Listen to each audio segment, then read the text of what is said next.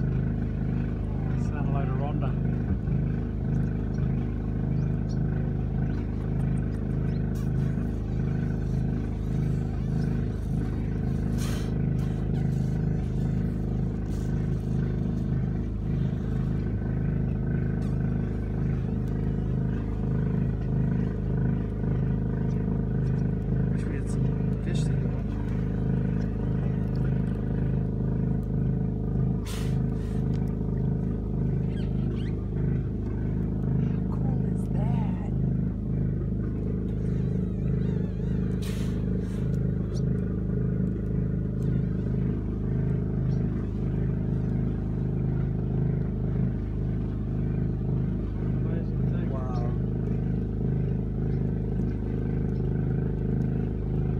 anything like that in your life?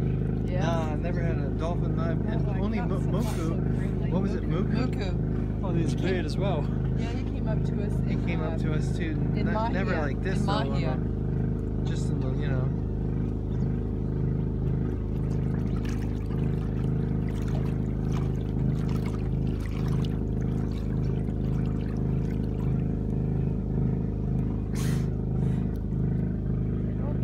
Unreal that we're right here at the fishing I know. wharf. Look at look at him. Look at him. All this speckles. Sussing it right out. I know. He's more curious about us than we are about him. Doesn't want to go, does he? She or whatever. He came right up to me and I just touched his nose. He was not scared at all. Yeah, he thought that he was thinking, oh, got, got some fish. I wish I could have some fish for him. Yeah. He's probably hungry. Oh, look at him. He's spinning.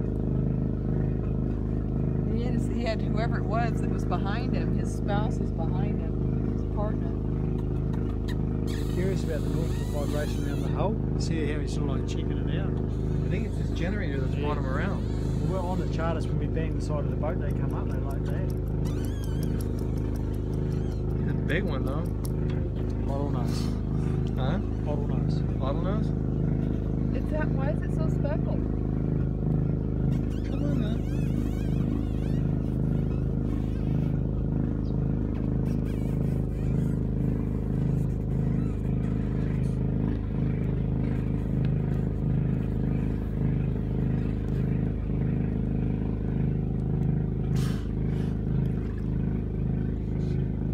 Side of his tail chopped off.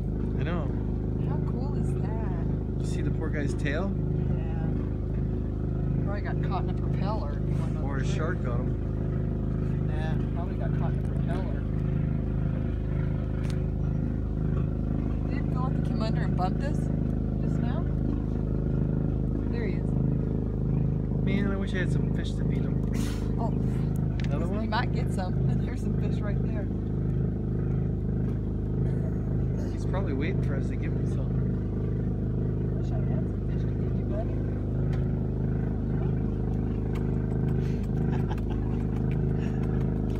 this. He usually don't hang around this long. He doesn't want to go. Oh, Mackenzie would be going nuts right I know. Now.